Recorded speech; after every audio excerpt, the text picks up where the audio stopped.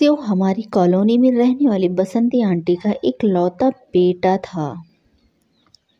Colony की लड़कियों को तो बस वो फिदा रहती थी।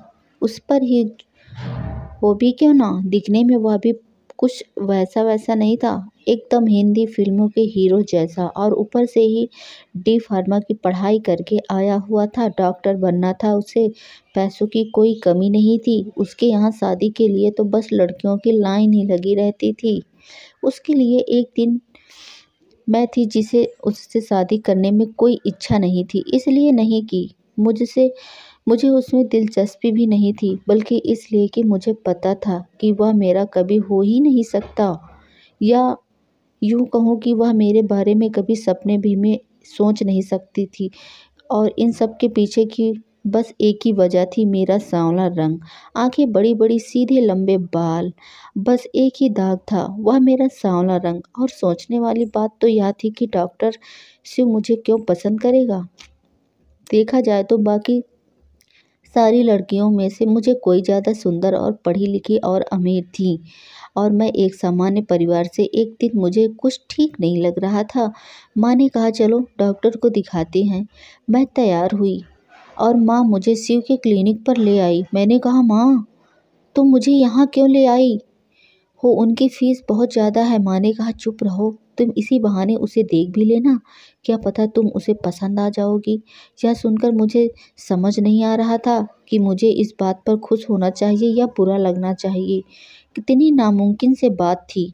या हम दोनों फिर अंदर गए। माँ ने अपनी पहचान बताई कि वह शिव के पापा की दोस्त की पत्नी है। शिव ने भी कहा हाँ पहचाना मैंने आपको। माँ ने कहा, यह मेरी बेटी शिवानी है। इसकी तबीयत ठीक नहीं है। आज शिव ने मेरी तरफ़ देखा और मेरी बीपी चेक करने लगा।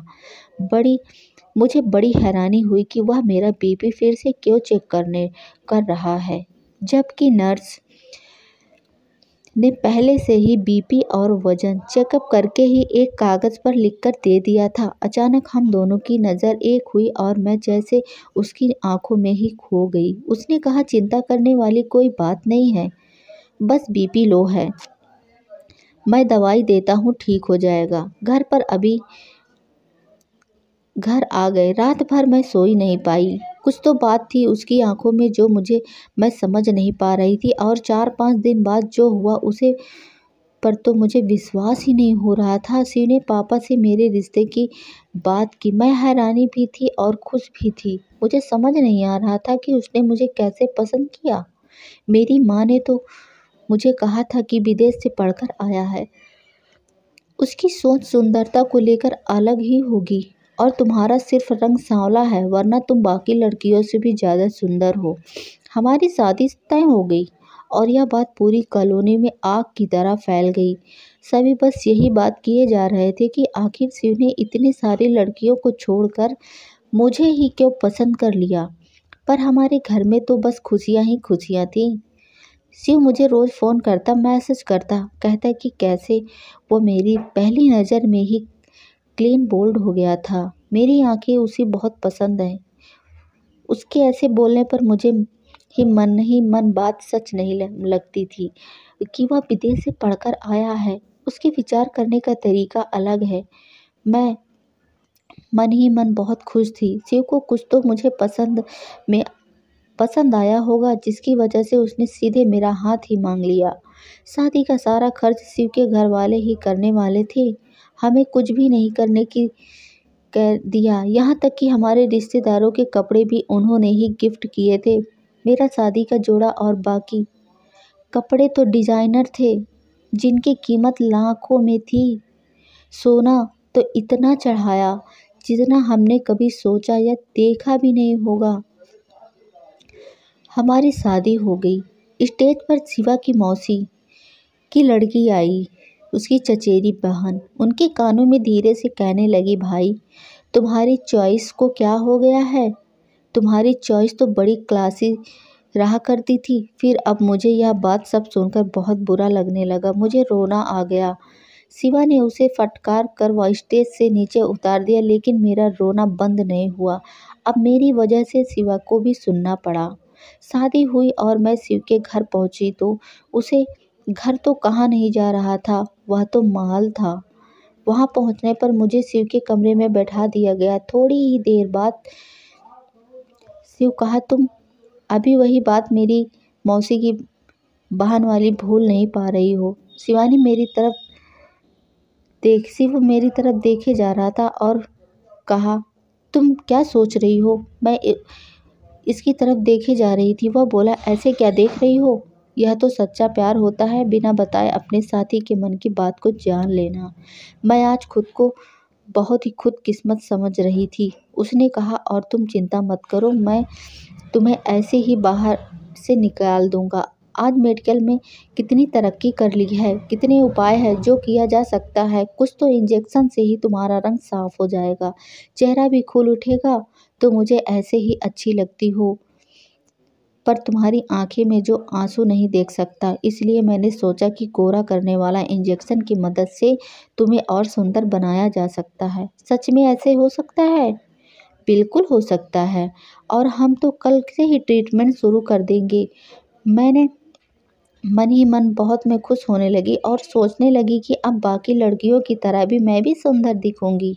अब मैं हसीन सपने संजोगने लगी। शिव भले ही एन आर आई था, पर उसके विचार व्यवहार से ऐसा बिल्कुल भी नहीं लगता था। उसका स्वभाव और रहन सहन एकदम समान इंसान की तरह।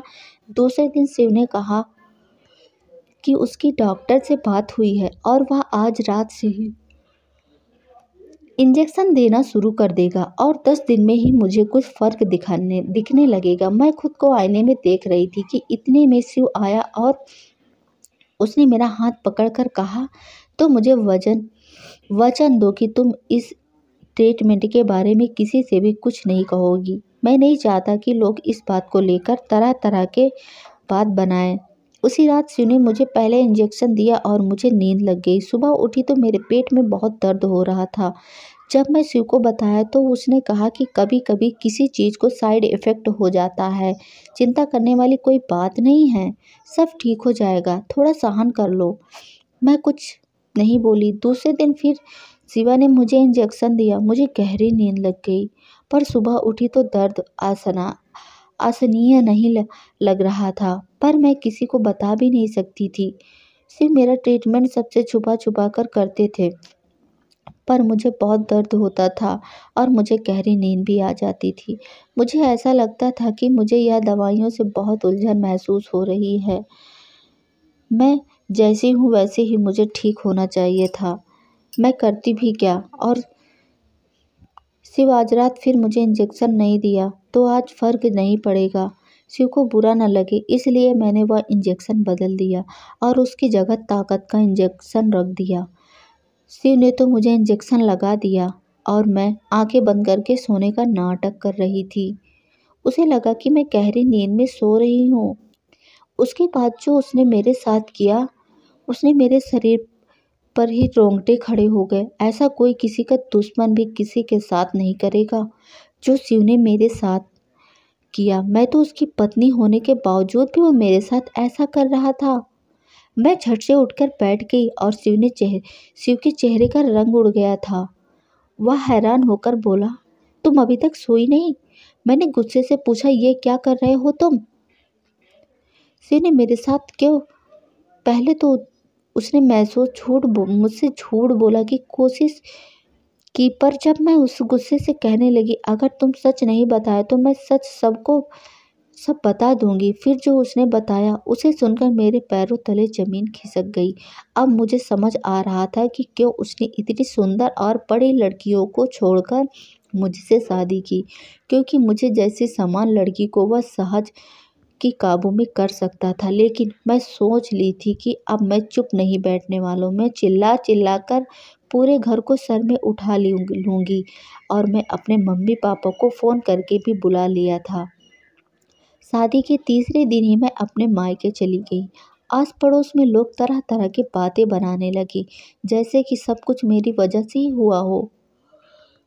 मेरे चरित्र पर ही उंगली उठाने वालों पर मैं दबी नहीं, ना मैं डरी हुई हूँ। मैं चुप भी नहीं बैठी। मेरी एक सहेली का पति वकील था। उसकी मदद लेकर मैं शिवा को, शिवा के विरुद्ध एक केस फ़ाइल किया। मेरी माँ ने मुझे रोकने की बहुत कोशिश की, पर मैं सोच रखा था कि शिव जैसे इंसान को उसके कर्मों की सज़ा मुझे ज़रूर देना था। उसका असली चेहरा सभी के सामने आना चाहिए था। कैसे भी, केस की तारीख सारी मीडिया जमा थी। वहाँ मैं कोर्ट में शिव की सारी हकीकत बताई। दरअसल शिव पहले से ही शादीशुदा था। उसने विदेश में ही एक लड़की से शादी कर ली थी और वह उसे बहुत प्यार भी करता था। लेकिन वह लड़की माँ नहीं बनना चाहती थी, जिसमें कि वह उसके शरीर पर कोई फ़र्क न पड़े और शिव चाहता था कि उन दोनों का एक बच्चा इस दुनिया में आए। इसके लिए उसने मेरा इस्तेमाल किया और ऐसा दुष्कर्म मेरे साथ करता था, जानबूझकर मेरा इस्तेमाल उसने किया। मुझे जैसी गरीब को और सांवली लड़की की शादी करके उसे उन दोनों उन दोनों को बच्चा मेरे गर्भ में डालना था। वह बच्चा पैदा होते ही बच्चे को लेकर मुझे तलाक तलाक देकर पत्नी के पास चला जाने वाला था। अपने देश में सेरोग्राफी क्लिनिक होने के कारण वह मेरी रजामंदी मंदी के बिना वह मेरे गर्भ में अपना बच्चा कैसे रख सकता था? इसलिए उसने झूठ कहकर कि वह मुझे गोरे रंग का इंजेक्शन दे रहा है। कहकर मुझे इंजेक्शन देकर बेहोश करके मेरा चेकअप करता था। जिस रात मैंने वह इंजेक्शन बदल दिया तो उस रात को आईवीएफ के द्वारा मेरे गर्भ में अपना बच्चा इम्प्लांट करने वाला था। उसकी पत्नी को अगर बच्चा नहीं चाहिए था या फिर उसे शरीर खराब होने नहीं करना था, इसका मतलब यह तो नहीं है कि उन दोनों को मेरी ज़िंदगी बर्बाद करने का हक नहीं था। मेरे वकील ने शिव के खिलाफ एक केस दर्ज दर्ज किया, ठोस सबूत पेश किया और उसे योग्य शिक्षा भी हुई। जो लोग पहले मेरे चरित्र पर उंगली उठा रहे थे, वही लोग आज शिव के घर वालों को नाम रख रहे हैं कि वह ऐसी गंदी गंदी हरकत करते हैं। मेरा और शिव का तलाक हो गया। मैं आज अकेली थी, पर मेरी किस्मत मेरे साथ थी। या कहूँ कि भगवान ने ही उसी रात मुझे बुद्धि दी और मैं इंजेक्शन बदल दी। वरना मेरी ज़िंदगी तो आधी अधूरी रह जाती, क्योंकि शिव ने अपने बच्चा इम्प्लांटेशन के ज़रिए मेरे गर्भ में डाल देता और मैं नौ महीने तक उसकी माँ बनी रहती और जैसे ही मेरा बच्चा इस दुनिया में आता, वह ले लेता। ऐसी माँ कैसे मैं अपना बच्चा देती थी?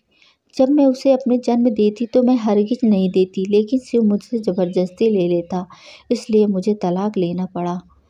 यह कहानी दोस्तों हमें यह सीख पढ़ा देती है कि सभी माता पिता अपने बेटे के लिए अमीर लड़का ढूँढने की जगह, चाहे गरीब लड़का हो पर संस्कारी लड़का देख कर ही शादी करे, क्योंकि अगर दो टाइम का खाना और सम्मान मिले तो कोई लड़की भी ऐसी अपनी ज़िंदगी सुख शांति से काट लेगी। लेकिन इंसान ही खराब हो तो कभी भी खुशी नहीं रह सकती।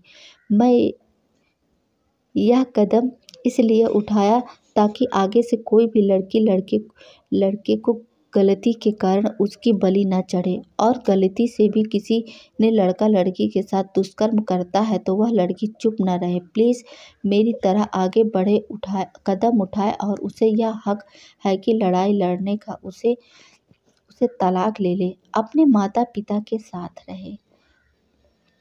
तो ये कहानी आपको कैसी लगी? अगर अच्छी लगी हो तो प्लीज़ एक लाइक और सब्सक्राइब चैनल को ज़रूर करें। धन्यवाद।